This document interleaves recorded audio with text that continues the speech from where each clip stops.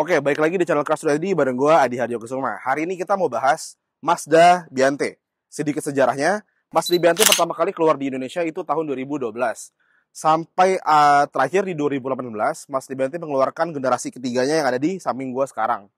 Yang artinya, di balik mesin ini ada mesin 2000 cc, 4 silinder DOHC, uh, Sky Active yang mempunyai tenaga hingga 144 horsepower dan mempunyai torsi hingga 184 Nm. Dan semua tenaga tadi disalurkan ke empat rodanya melalui transmisi otomatis. Permasalahannya guys, Mazda BT ini udah discontinue, udah nggak dilanjutkan, udah nggak dilanjutkan lagi oleh Mazda yang uh, masuk ke Indonesia. Gue sendiri nggak ngerti kenapa ya, karena menurut gue Mazda BT ini uh, bener-bener nyaman banget. Bahkan keluarga gue juga uh, lumayan lama untuk menggunakan mobil ini. Kalau menurut kalian gimana guys? Kalian setuju nggak sih buat Mazda BT ini untuk dilanjutkan lagi di Indonesia?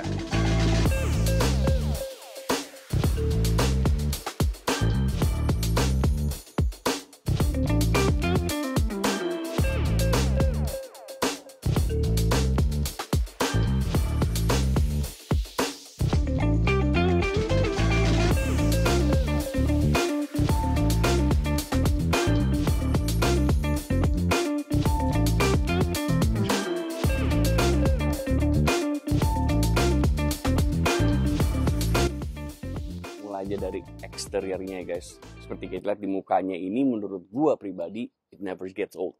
Ini tetap kelihatan kayak masih baru-baru aja. Padahal mobil ini bisa dibilang nggak terlalu baru ya. Bisa dilihat juga dari headlampsnya sendiri. Headlampsnya ini udah pakai dia masih pakai bohlam tapi udah projector of course. Um, nothing said much about the front of the car. Tapi menurut gue mobil ini uh, never gets old. Yaitu apa? Tampilannya tetap muda terus gitu nggak kelihatan kayak udah lumayan tua mobilnya. So it's a good thing ya. Oke sekarang kita mulai langsung di velgnya aja. Velgnya ini pakai ring 16 pakai ban profil 60 ya saya rasa ini cukup standar untuk pemakaian daily use ya tentu untuk kenyamanan uh, comfort orang yang di dalam. Kalau buat gue untuk mobil seperti ini gue lebih consider atau mementingkan uh, kenyamanan di dalam ketimbang look di luar buat gue pribadi. Di sini juga uh, untuk spionnya dia udah rectangle ya jadi dia udah dari dalam ya bisa dikunci dia langsung ngelipat sendiri gitu. Dan uh, pintu di sininya dia udah elektrik. Ya. Jadi menurut gue uh, it's very convenient ya untuk mobil ini ya. Alright, sekarang kita ada at the rear of the car ada di belakangnya. Seperti biasa kita akan lihat bagian desainnya. Gue to be honest, gue suka banget sama desain lampunya ya. Apalagi desain lampunya ini seolah dia nyambung dari ujung ke ujung sampai tengahnya ini juga kelihatan transparan dan ini untuk bagian transparannya ini um, ini um, cuman ini ya uh, buat lampu rearnya aja di sini. Dan lampunya itu uh, most of ada di sini. Dia masih pakai bohlam. Dan gue suka dengan uh, desain ini. Gue berharap banget coba kalau ini nyala. Mungkin kalau ini nyala keren ya. Tapi sayangnya ini cuman kayak reflektor aja gitu. Udah ada defoggernya ya. Udah ada sensornya dan yang pasti udah ada uh, kameranya. Jadi gue rasa itu semua udah cukup banget untuk sebuah mobil MPV yang kayak gini, yang panjang, yang kemungkinan membutuhkan uh, lebih orang untuk naik ke belakang itu tentu kamera itu sangat diperlukan. Alright guys, I think it's more than enough ya.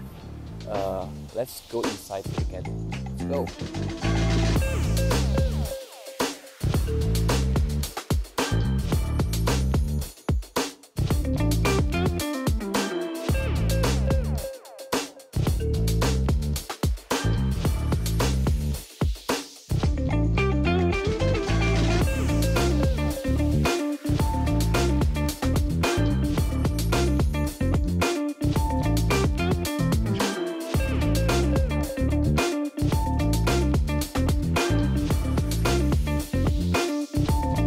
Alright guys, sekarang ini kita udah ada inside the cabin of the car ya.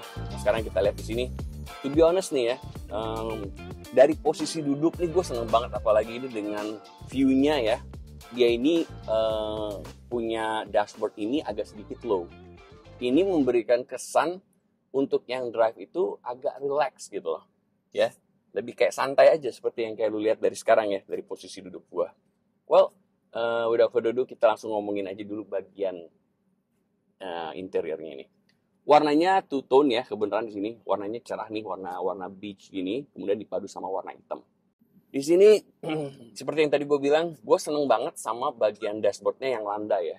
Jadi ini eh, seperti yang gue bilang juga tadi ini memberikan posisi driving yang bener-bener relax banget gitu kalau menurut gue mulai dari steeringnya aja ini udah tilt steering and udah teleskopik juga ini dibutuhin banget nih dia teleskopiknya. Jadi memberikan drivingnya lebih positionsnya lebih enak aja gitu. Bisa memberikan yang lebih more nyaman, more relax gitu. Di sini udah ada pedal shiftnya.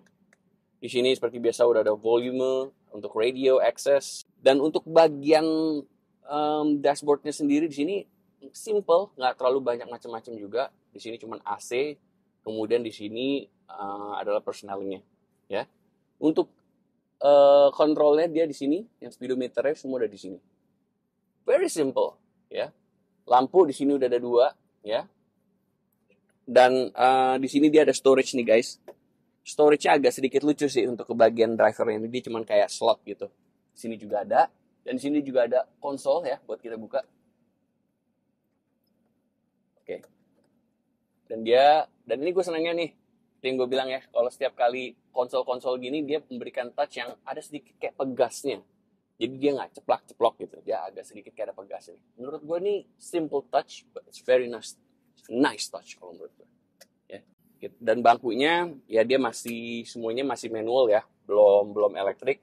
Uh, seperti biasa kita bakalan cek second row dan third row. Let's move along. Ya. seperti yang kita lihat ya di second row ya ternyata masih nyaman ya.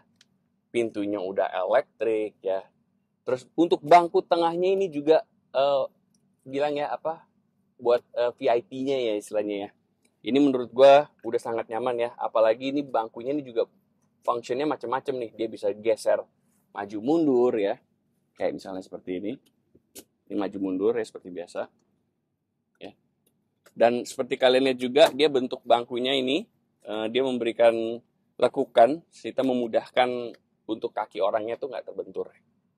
Ya. Terus ini di sini bangkunya selain bisa geser dia juga bisa uh, ke kanan kiri gini nih guys. Tuh. Jadi bangkunya ini sebenarnya dia bisa nyatu. Tuh kayak gini. Tapi dia juga bisa jadi kayak captain seat dipisah gitu. Ya. untuk AC dia modelnya bukan yang bar tapi dia yang ada di bagian um, setiap passenger seat ya. Kayak misalnya di tengah di sini ada kemudian di belakangnya juga ada AC juga nih guys di setiap uh, kanan kirinya.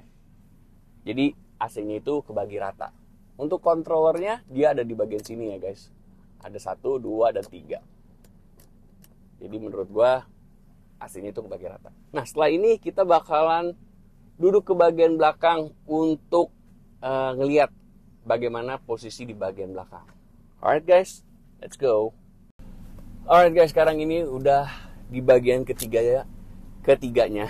Dan what do you know ya, ternyata bagian third row-nya ini masih gede banget. Nah ini, of course ya, ini yang gue bilang tadi untuk mobil ini selain kenyamanan tentu passengernya yang banyak ya, yang bisa muat banyak. Ini di sini tadi posisi gue duduk yang udah nyantai banget, dengkul juga nggak kena sama sekali. Di belakang seperti biasa tinggi 179 180 kurang lebih kaki dengkulnya ini masih e, kalau duduknya agak tegak dia masih ada space ya. Biarpun agak rebaan dikit dia masih agak sender dikit. Kena sih tapi masih jauh lebih nyaman. Dan di sini untuk maju mundurinnya ada tuas di sini ya guys. Ini untuk maju mundurin kayak gini. Ya. Dia ada, ada tuasnya di sini. Jadi untuk akses keluar itu kita nggak perlu mencari rogo-rogo tapi cukup narik yang merah ini. Dan untuk bagian belakangnya tadi gue sedikit bingung gue mencari tuas. Ternyata itu dia adanya modelnya tali men. jadi untuk maju mundurin ini kayak gini ya. Dia ini pakai tali nih di bagian sini. Talinya kecil gitu. Ya gue berharap sebenarnya masih pakainya tuas ya biar lebih bagus gitu. Tapi nggak apa-apa lah masih cukup more than enough. Headrestnya ada tiga ya tapi menurut gue pribadi kalau untuk bertiga sih hmm, mungkin agak muat tapi mungkin untuk bagian shoulder kita akan kena kenaan ya kalau yang badannya gede-gede.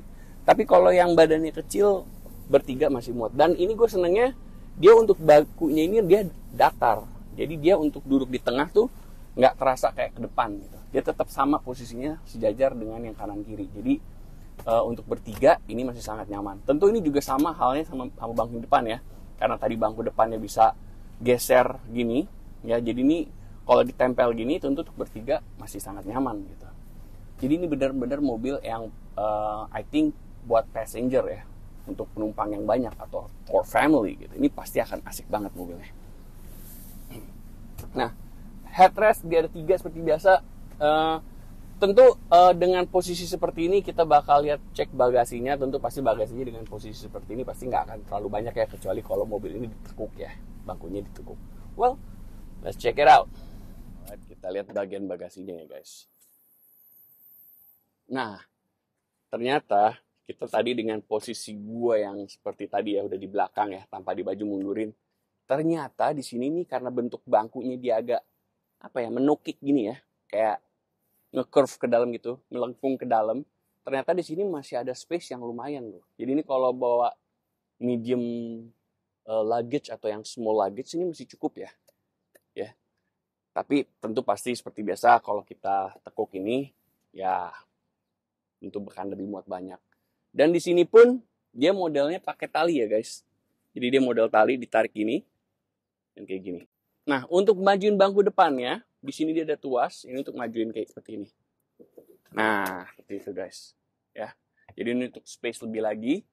Atau saya rasa dengan begini saja, biarpun bangku sudah paling belakang, dia masih cukup ya. Dan bisa dibilang mobil ini cukup luas. Alright guys, so what do you guys think about this Mazda Viante ya?